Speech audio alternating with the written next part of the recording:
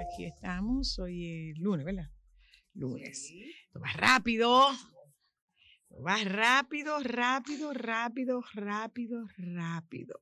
¿Mm?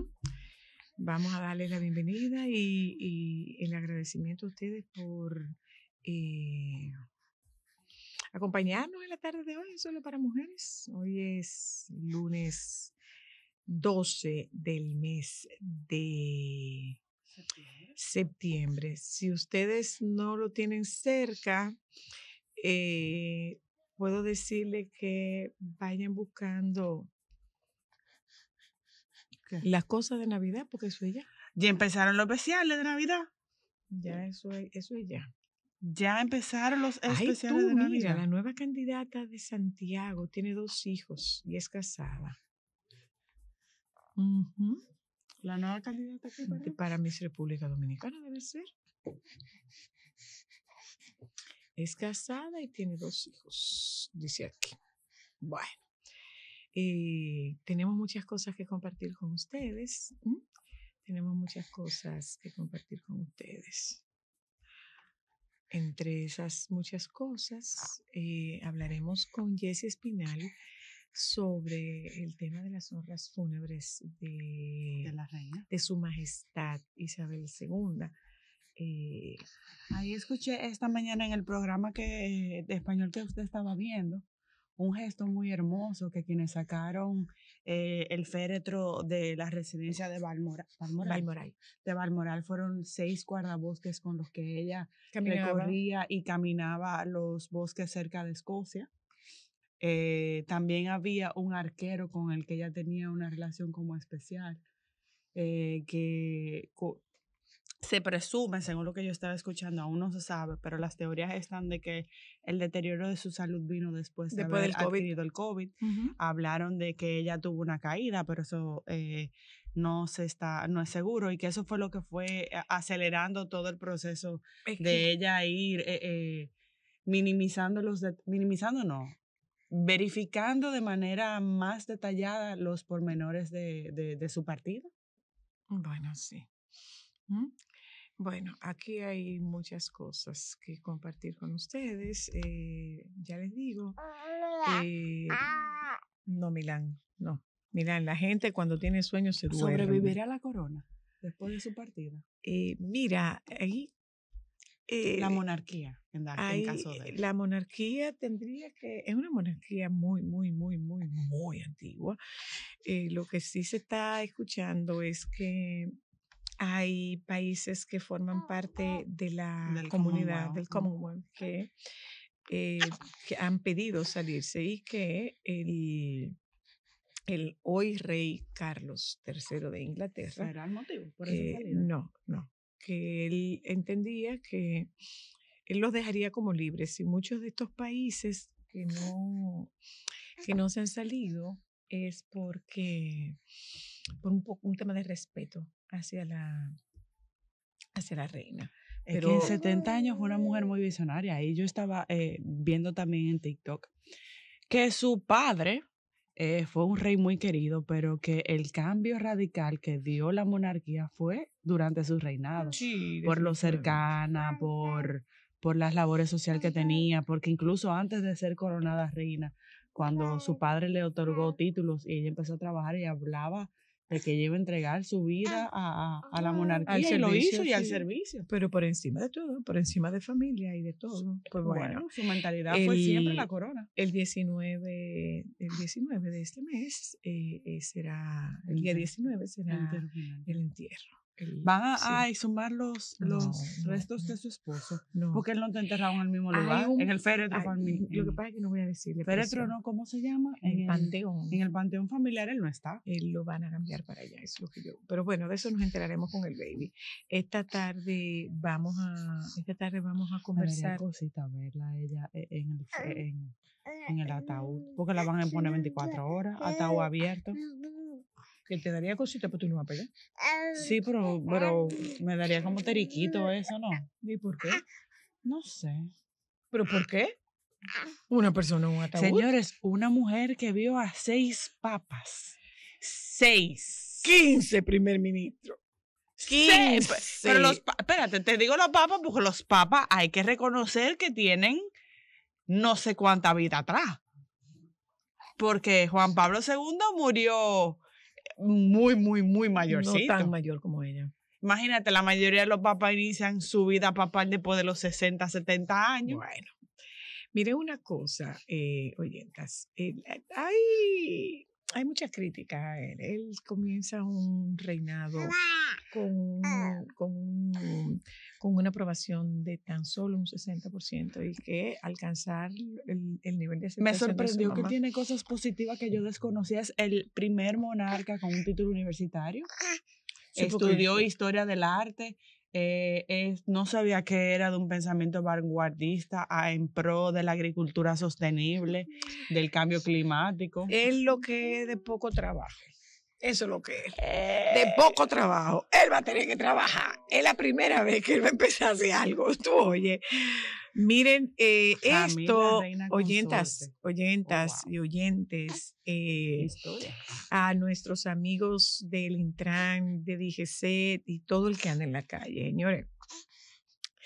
Eh, en esta semana, en la semana pasada, mejor dicho, se registraron, se documentaron tres casos de agresión a vehículos con, con piedras. semana no, fin de semana, señora. Bueno, era la semana. Pero en dos días, hablamos de sábado y el día de ayer. Eh, bueno, sábado y el día de ayer. Eh, tres casos de un individuo o un par de individuos que apedrean los vehículos. Hay una señora a la que les rayaron el carro, pero de una esquina a la otra. Hay un señor al que le dijeron de rata y gusano en adelante porque no le quiso dar dinero. Hay una señora que le tiraron una pedrada y eh, por fortuna eh, otra, otra señora con un carro... atrás. Con una silla de bebé eh, afortunadamente ese bebé no estaba dentro de ese vehículo y le rompieron el vidrio con una piedra. Entonces, uno en la 27 con Lincoln, otro en la Carmen Mendoza de Corniel, otro en la Tiradentes. Vamos a prestar atención, señores. Hablamos con Paul. Vamos a prestar atención. Vamos a prestar atención. O sea, yo no sé, yo no sé, pero yo no sé si es un tema de los, si es un tema de los, de, de, que ahora mismo cada, cada persona que tiene un teléfono inteligente en sus manos se convierte en un eh, productor de noticias, un generador de noticias, un, un redactor, un reportero. No sé si será que ahora son más visibles o qué, pero yo no sé lo que le está pasando a usted pero a mí particularmente me está pasando que es una sensación de desprotección que tenemos. O sea, ya usted no tiene una calle por donde circular donde el temor, la aprensión y la ansiedad se encarguen de usted ya no hay una calle por donde circular. ¿eh? Y no, no se trata de que tú quieras ser, eh, no, se, no se trata de ser exagerado. no, no, no, no, señores, no, señores. Pero los niveles de desprotección y de inseguridad están elevándose. O sea, usted no puede andar en un vehículo en la calle. Usted no puede andar en un vehículo en la calle porque usted no sabe por dónde le va a salir una persona con problemas emocionales o una persona con consumo de droga o una persona que le vaya a agredir. ¿Usted se imagina que pase esto en una que le pase esto a una persona con un niño dentro de su vehículo? Bueno. Hola, hello. Buenos días, buenas tardes. Buenas. Mira, lo lamentable de todo esto, aparte de la ocurrencia del acto, es que eso no ocurrió en una zona baldía. Eso ocurrió en vías centrales, en donde se supone que hay una constante vigilancia por parte de las autoridades del tránsito. Porque cuando usted me dice a mí que ocurrió eso en la 27 con Lincoln, eso no es un callejón. Entonces, ¿de dónde él sacó la piedra? Él estaba con la piedra ahí. Claro. Entonces, viene el juicio. Si uno toma una reacción, señores, somos seres humanos, toda acción trae una reacción. Para que lo sepa. Si yo veo en peligro mi vida o de los míos, ¿qué yo voy a hacer con él? Y adivina Entonces, que malo soy yo. te busca el problema, ¿eh? Te buscas el problema. Entonces, mira cómo misma. Entonces, me busco el problema por la carencia de autoridad. Porque ¿para qué están ellos ahí? Y yo, yo tengo, en, en la Carmen Mendoza de Coniel con 27 de febrero, siempre. Mira, hay- hay un buenas. detalle que- Buenas. Hola, sa- hola, saludos, saludos. Hola, le escucho. Sí, buena. Fíjese, con el tema de, de los niveles de violencia que se están registrando en todo el territorio nacional, yo siempre he dicho eh, y llevo la premisa de que todas las leyes están ahí, vigentes. Ahora, la premisa que quiero decirle es que dice un dicho por ahí que el fuerte doma. Yo estoy seguro, yo estoy seguro que el dominicano cuando va a cualquier país del mundo organizado donde se aplica la ley, no tiran un papelito en la calle. Y si se le aplica la ley a todo eso que están eje- ejerciendo la violencia de una forma indiscriminada, no importa la razón social que tenga la persona, sino que se le aplique la ley al nivel que sea y lógicamente cuando ya las leyes no pueden vamos a aplicarle el fuerte doma vuelvo y repito y, y, y en general lo que quiero dejarle dicho es eso gracias Gracias.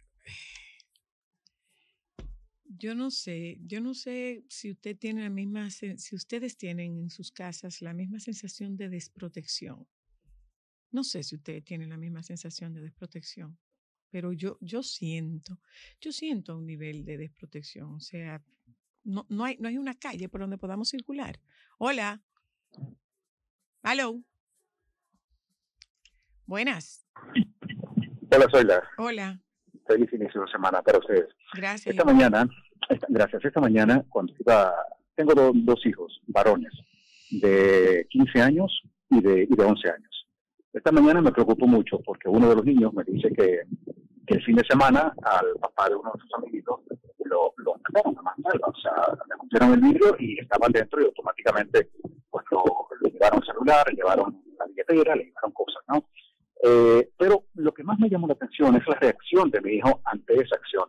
Él me decía, pero papá, tú tienes un arma, de seguro que automáticamente tú le dispararías y acabarías con la vida. Mira cómo se va generando, lo que decía el señor también una violencia trae otra violencia. Sin embargo, también mira cómo la visión de mis muchachos es la de arremeter contra, Claro. contra estos de- de- desarmados, ¿no? Entonces, tenemos leyes, también lo decía otro otro señor que acaba de llamar, tenemos leyes, pero la, la cuestionante es la siguiente, o sea, ¿se están cumpliendo? ¿De qué manera nos invitan a nosotros a actuar por nuestras propias leyes? A tomarla, a tomar las armas por nuestras propias manos. y buscarte Entonces, un problema, y buscarte Claro. un problemazo, y buscarte un problemazo. Pero imagínate tú que te agredan un muchacho en un carro. Imagínate tú que te agredan un muchacho, tú con un, con un carajito sentado en un, en un asiento. Imagínate tú que esa piedra se le pegue a un niño.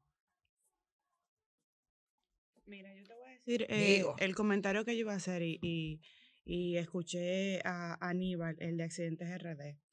Eh, creo que es el, el joven de, de la Carmen Mendoza de Corniel.